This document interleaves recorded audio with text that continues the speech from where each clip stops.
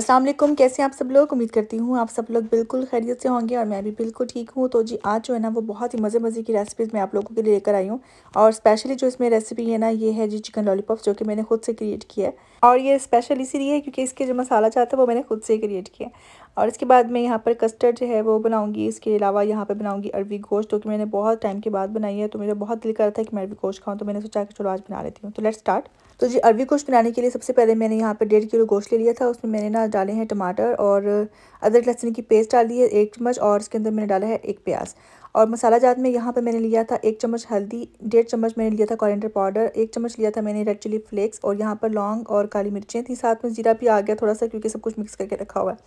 और इसके बाद इसमें मैंने डाला है एक चम्मच जो है ना रेड चिली पाउडर और उसके बाद है इसमें नमक। और अब सारे मसाले जो हैं वो मैं डाल दूँगी गोश्त के अंदर और इसको पकने के लिए रख दूँगी। और यहाँ पर जो है ना वो अरबिया मैं लेकर आई थी ना जो उनसे वो उनको मैं छीलूँगी और इनको काटूँगी। अच्छा थोड़ी सी ना ये हार्ड थी और काफ़ी मुझे टाइम लग गया इसको ना साफ़ करने में ना तो अच्छा एनीवेज मैंने इसको साफ़ करके ना साथ साथ पानी में रख दी थी ताकि ब्लैक ना हो जाए। तो यहाँ पर सारी जो है ना बोरवियाँ मैंने छील ली थी, उसके बाद जो है ना उनको मैंने पानी में डाल के धो लिया था और उसके बाद मैंने यहाँ पे गोचो है वो गल गया था बिल्कुल। फिर इसके अंदर मैंने ना तकरीबन दो चम्मच जो है वो डाल दिए थे ऑयल के। और इसको अच्छे से करके ना मैंने इसकी बुनाई कर ली थी। तकरीबन मुझे थर्टी मिनट्स लगे थे बुनाई करने में वो इसलिए, क्योंकि बुनाई जो होती है ना, गोश्त का सबसे मेन पार्ट होती है। अगर आप चाहते हैं ना कि गोश्त की स्मेल बिल्कुल ख़त्म हो जाए तो बुनाई जितनी आप इसकी करें ना, उतनी कम है। बस पानी थोड़ा थोड़ा डालते रहें, इसकी बुनाई करते रहें कि मसाला बिल्कुल जो है ना, वो जगजान हो जाए। तो यहाँ पर सिचुएशन में आकर ना बिल्कुल मसाला जगजान हो गया था। मैंने इसमें डाल दी थी अरवियाँ और इसके बाद इसकी जो है ना मैंने अरवियों के साथ थोड़ी सी और बुनाई की थी। और एक गिलास पानी का डाल के ना मैंने इसको गलने के लिए रख दिया था हल्की आँच पर और यहाँ पे अरवियाँ बिल्कुल माशाल्लाह से प्रॉपर तरीके से गल गई थी। फिर मैंने इसकी थोड़ी सी और बुनाई करने के बाद इसके अंदर मैंने डाल दिया था धनिया और हरी मिर्चें और बहुत ही ज़्यादा अच्छी सी खुशबू आ रही थी, यकीन करें। और टेस्ट भी बहुत अच्छा था, खाने में भी बहुत ही ज़्यादा मज़े की लग रही थी। तो जी, इसके बाद मैंने इसको कर लिया था डिश आउट ताकि ना एक जो है ना मेरी डिश रेडी हो जाए। उसके बाद मैंने बनाना था यहाँ पर पकौड़ों का सामान। उसके बाद मैं बनाने लगी थी पकौड़े, और पकौड़ों के लिए मैंने यहाँ पे लिया था प्याज आलू जो थे और यहाँ पर थी शिमला मिर्च। तीनों कलर्स की थी। सबको ना मैंने एक ही तरह से ना लंबा लंबा करके काटा था। और क्योंकि पकौड़ा का जो इतना ज़्यादा इशू नहीं है कि मैं आपको प्रॉपर इसकी रेसिपी दूँ, क्योंकि सबको ही पता होता है कि पकौड़े जो है वो कैसे बनते हैं इसमें क्या क्या डलता है। तो यहाँ पर ये इसके इंग्रीडियंट्स है जो मैं इसमें ऐड करने लगी हूँ। और उसके बाद इसमें डालूँगी बेसन और इसको अच्छे से करके मिक्स करके ना मैं रख दूँगी। पकौड़ों को मैं पहले से मिक्स करके रखने का मकसद ये होता है मेरा, ताकि जो है ना इसमें आलू होते हैं और जो वेजिटेबल्स होती हैं, इसके अंदर अच्छे से करके ना सारा मसाला जो है ना वो ऑब्ज़र्व हो जाए। तो क्योंकि अगर आप इस तरीके से पहले से मसाला बना के रख लो ना तो बड़े ही मज़े के बनते हैं। तो इस वजह से अब यह मैंने सारा कुछ जो है वो मिक्स करके रख दिया था और उसके बाद मैंने बनाने लगी थी कस्टर्ड तो कस्टर्ड के लिए ना मैंने लिए यहाँ पर दो चम्मच कस्टर्ड पाउडर वनीला का और इसके बाद इसमें मैंने डाला थोड़ा सा दूध या पानी जो भी आप मिक्स कर लें और उसको मिक्स करके मैंने रख दिया साइड पर और यहाँ पर तकरीबन मैंने वन लीटर जो है ना वो मिल्क लिया है, ठीक है? और इसके अंदर मैंने वन कप जो है वो चीनी ऐड कर दी है। चीनी मैंने बहुत ज़्यादा ऐड नहीं की है क्योंकि शुगर मुझे बहुत ज़्यादा अच्छी नहीं लगती है कस्टर्ड में ना। तो अच्छा इसमें वन कप चला गया चीनी का और उसमें मैंने थ्री जो है ना कार्डमन डाल दिए। होल कार्डमन हैं। इसमें पाउडर वगैरह या इसकी जो दाने वो नहीं डाले क्योंकि मैं बाद में ना इसको निकाल दूँगी।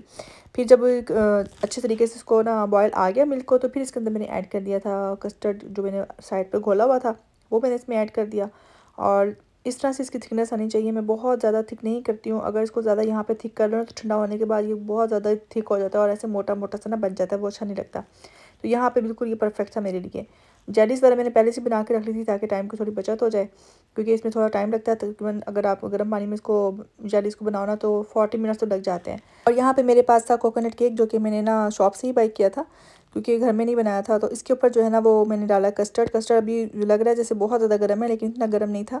बस नॉर्मल टेम्परेचर पे ही था और गर्म कस्टर्ड डालने का मकसद ये होता है कि ताकि जो केक है ना, उसके अंदर अच्छे तरीके से ऑब्जॉर्व हो जाए। फिर इसमें जो मैंने जालीस थी, वो बना के रखी हुई थी, उनको मैंने कट करके डाल दिया, फिर इसका सेकेंड जो लेयर है, वो डाल दिया, उसके बाद सेकेंड लेयर आ गई है कस्टर्ड की। और इसी तरीके से जो है ना वो आपका बहुत ही मज़े का ना कस्टर्ड ट्राइफल कह लें इसको, या जो भी कह लें रेडी हो चुका है। और ये इतना मज़े का बना था कि अफ्तारी के फ़ौर बाद ही हम लोगों ने इसको ख़त्म कर दिया था। तो थोड़ा सा बचा था जो कि मैंने सहरी में खाया था पीना। तो आज ना मेरा दिल बहुत ज़्यादा कर रहा था कि मैं ना आज बनाऊँ जी बैंगन के पकौड़े। तो बैंगनों को मैंने आज थोड़ा सा डिफरेंट स्टाइल में काटा। पहले मैं इसको गोल गोल जो ना काट लिया करती थी, लेकिन मैंने इसको ना लंबाई के रुख में काटा और उसके बाद मैंने इसके अंदर डाल दिया था सॉल्ट और पानी। इसको मैंने पानी में डाल के रख दिया था, तकरीबन थर्टी मिनट्स पड़ा रहा था ये ना। और अब मैं बनाने लगी थी यहाँ पर चिकन लॉलीपॉप्स तो मैंने यहाँ पर क्या किया कि चिकन की जो लेग होती है उसको यहाँ साइड साइडों से ना कट कर लिया था, इस तरीके से ना तेज़ छुरी के साथ। तो वो क्या होता है कि जो गोश्त होता है ना, वो यहाँ से सेपरेट हो जाता है। उसके बाद आपने क्या करना है, इसको पकड़ के ना अच्छे से ना ज़ोर से आपने नीचे की तरफ़ इसको पुश करना है। तो ये देखें आपके पास जो है ना कितनी ज़बरदस्त तरीके से लेग पीस तैयार हो गए हैं। और उसके बाद ये जो चीज़ है ना आपने ऐसे उतार देनी है इसकी बैक साइड से, ताकि आपके पास एक प्रॉपर जो है ना वो लॉलीपॉप की तरह बिल्कुल ना लेग बन जाए। और इस तरीके से मैंने सारे के सारे जो है वो रेडी करके रखे हुए थे। और अब जो है मैं इनको लगाऊँगी मसाला। तो ये बारह पीस थे मेरे पास। बारह पीसेस के लिए मैंने यहाँ पर एक चम्मच लिया था अदरक लहसुन की पेस्ट आधा चम्मच लिया था मैंने रेड चिली पाउडर एक चम्मच लिया था नमक और आधा चम्मच लिया था रेड चिली फ्लेक्स और और मैंने लिया था, आधा चम्मच मैंने लिया था ब्लैक पेपर और दो चम्मच मैंने लिए थे कॉर्नफ्लोर और उसके बाद दो चम्मच थे इसके सोया सॉस के और एक था अंडा। तो ये जो सारे इंग्रेडिएंट्स हैं, ये आपने डाल देने हैं इसके अंदर चिकन के अंदर और आपने जो है ना वो उसको अच्छे से करके मिक्स कर लेना है। और ये जो सब इंग्रेडिएंट्स हैं, ये मेरे खुद के ही बनाए हुए हैं, क्योंकि ऐसी रेसिपी नहीं आपको मिलेगी। चिकन लॉलीपॉप्स और भी बहुत ज़्यादा तरीक़ों से जो है ना वो बनाया गया हुआ है यूट्यूब के ऊपर, लेकिन इस, ये तरीका सबसे ज़्यादा आसान था जो कि मैंने खुद क्रिएट किया। तो मुझे लगा कि ये जो है ना इस तरीके से अगर मैं बनाऊँगी तो मज़े के बनेंगे और यकीन करेंगे इतने टेस्टी बने थे, घर वालों ने इतनी तारीफ़ें की सब बच्चों ने इतने शौक से खाया हस्बैंड ने इतने शौक से खाया कि मुझे तो ना भी वाह वाह मिल गई और मैं खुश हो गई। तो यहाँ पर मैंने एडिशन किया यहाँ पर चिकन फ्राई मिक्स का। तो इसके अंदर जो है ना, जब हम लोग फ्राई करेंगे ना तो इस, इसके ऊपर लगा कर फ्राई करेंगे। वो मैं आपको जब फ्राई करूँगी ना तो मैं आपको दिखाऊँगी। और जो है ना, आज बच्चों की फरमाइश पे बनाया गया था मैंने स्ट्रॉबेरी मोजीतो तो। तो मेरी जो दोनों बेटियाँ हैं, वो बहुत ज़्यादा शौक से पीती हैं इसको। और तो मैंने सोचा कि चलो उनके लिए बना देती हूँ ना। यहाँ पे मैंने कुछ स्ट्रॉबेरीज ली थी, यहाँ पे कुछ मैंने लिए थे, उसके पुदीने के पत्ते लिए थे, वो मैंने इसमें डाल दिए। और एक लेम आधा लेमन जो है वो मैंने स्क्वीज़ करके इसमें डाल दिया था और इसको मैंने अच्छे से करके ना फिर क्रश कर लिया था और स्प्राइट या सेवन अप इसमें आप ऐड कर सकते हैं। चीनी मैंने इसमें ऐड नहीं की थी और स्प्राइट मैंने अभी ऐड नहीं किया है, वो उस वक्त ऐड करूँगी जब रोज़ा अफ्तार होने वाला होगा। तो अभी फ़िलहाल जो है ना मैंने इस चीज़ को रेडी करके रख दिया था। तो भी ये फिर ज़रा आसानी हो गई थी मेरे लिए ना। लेकिन अगर आप चाहें तो आप इसमें शुगर भी ऐड कर सकते हैं, आपकी मर्ज़ी है। और फिर मैंने ऑरेंजेस का भी जूस निकाल लिया था, ये मैंने अपने लिए निकाला था और हस्बैंड के लिए हम दोनों बहुत ज़्यादा शौक से पीते हैं। और इसके बाद जो है ना, ये देखिए सारा कुछ रेडी हो गया था। बर्तन जो है वो बस धोने वाले रह गए थे। मैंने सोचा कि बर्तन मैं अभी धो दूँ। अफ्तारी के बाद बिल्कुल भी हिम्मत नहीं रहती है। बस अफ्तारी के भी थोड़े से बर्तन होते हैं, वही धोने वाले होते हैं। जो बेसिक ये वाले बर्तन होते हैं ना, इनका बहुत ज़्यादा टेंशन होती है कि इसको साफ़ करने की, क्योंकि इस टाइम जो है ना, वो बहुत ज़्यादा बर्तन भर जाते हैं अफ्तारी के अलहमदिल्ला तो बस ना फिर किचन साफ़ करने के बाद मैंने नमाज़ पढ़ी और उसके बाद फिर मैंने ना सोचा कि मैं अब किचन में आ जाती हूँ क्योंकि एक घंटा रह गया था अफ्तारी में और फ्राई करने वाली आज काफ़ी सारी चीज़ें थी, जिसके अंदर वेजिटेबल्स पकौड़े थे, जिसके बाद मैंने बैंगन के पकौड़े भी बनाने थे और आज फ़िश पकौड़ा भी था। फ़िश मसाला फ़िश मैं लेकर आई थी और ये रेडी था, सब कुछ पहले से ही लगा हुआ था इसको मसाला ना तो ये मैं जहाँ से गोश्त बाय करती हूँ ना, जिस शॉप से, उनके पास ना फ्रेश आती है। तो कॉड फ़िश होती है, बहुत ही मज़े की होती है, मसाला पहले से ही लगा हुआ था तो मैंने सोचा कि चलो आज ले लेती हूँ ना। तो मैंने वो भी ले ली थी और इसको भी मैंने ना साथ में फ्राई कर लिया था। बहुत जल्दी ही गल जाती है फ़िश तो ना, क्योंकि मसाला पहले का ही लगा होता है इसको ना तो सारा कुछ जो है ना वो गला ही होता है इसमें। तो इस वजह से ना इसको ज़्यादा टाइम नहीं लगता। फिर बैंगन के पकौड़े मैंने बनाए थे और ये भी बहुत ही मज़े के बने थे और इसकी रीज़न ये थी कि अगर आप इसको थर्टी मिनट्स तक ना पानी के अंदर ना नमक डाल के रखते ना तो ये बहुत ज़्यादा सॉफ्ट भी बनते हैं और बहुत ही मज़े के बनते हैं क्योंकि नमक जो होता है ना, वो अच्छे तरीके से अब्सॉर्ब हो जाता है बैंगन के अंदर। तो यहाँ पर बैंगन के पकौड़े भी रेडी हो गए थे और वेजिटेबल्स पकौड़े भी रेडी हो गए थे और फ़िश वाले पकौड़े हैं जो वो भी रेडी हो गए थे।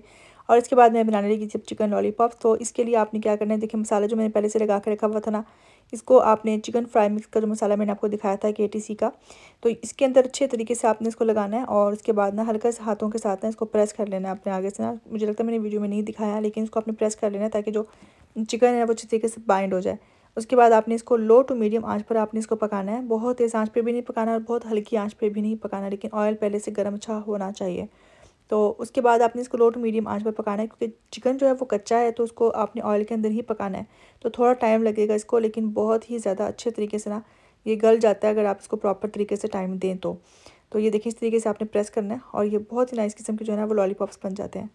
और तकरीबन आपने ना थ्री टू फोर मिनट्स के बाद आपने इसको टर्न कर लेना है। इस तरीके से सबको टर्न करेंगे और उसके बाद आपने बस वक्ता फ़वक्ता आपने ना इसको टर्न करते रहना है और मेक श्योर कर लेना कि अच्छे तरीके से ना गल गए हैं। और जिस वक्त मैं ना इनको फ्राई कर रही थी ना तो जब मैंने इनको इस सिचुएशन में रखा ना तो मुझे ना बिलावल भट्टू का वो बात याद आ गई कि कहाँ पे टांग रही हैं और मुझे इतनी हँसी आई ना तो ये देखिए जी, यहाँ पे रेडी हो गया सब कुछ।